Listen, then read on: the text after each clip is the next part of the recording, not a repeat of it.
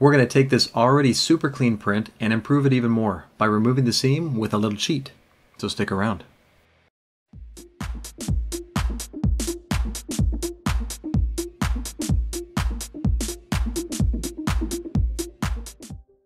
Most of you have probably printed a vase and maybe you've used vase mode for that or spiralized outer contour already.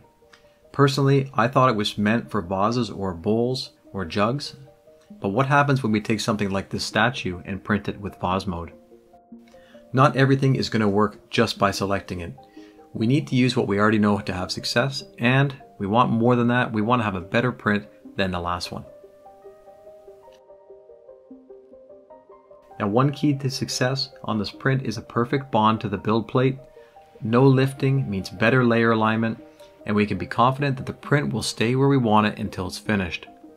I personally like using the glass, it stays completely flat regardless of the aluminum plate below.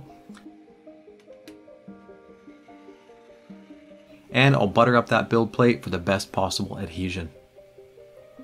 Now let's activate Spiralize Outer Contour, and this is going to remove that seam. But this isn't a vase, so what do we need to do to have success on this print? Well, I print with a 0.6 millimeter nozzle, and that's not going to work in this case. The overhangs are too large. Now we need a larger nozzle to make this work, so I'm going to use a 1 millimeter nozzle. Now spiral prints are also very fast, and this is going to cause a problem with cooling. So we need to slow the print speed down and make sure the fans are turned to full. Now lastly, we need a lot more cooling. The small fan isn't going to be enough, so I'm going to use a full-size room fan to cool the part a little bit better for overhangs. This part is being printed with the exact same filament as shown in the previous video. Here's an example of the print when I use moist filament.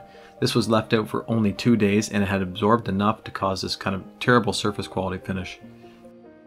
This method isn't going to work for every print, Parts with sharp transitions will have rounded corners with the larger nozzle, and nearly horizontal areas will not be printed at all.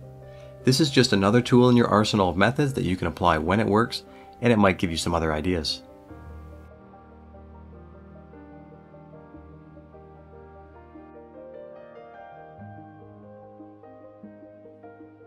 Now the one major flaw with this print is that the top remains open, so we can't really call this a complete success.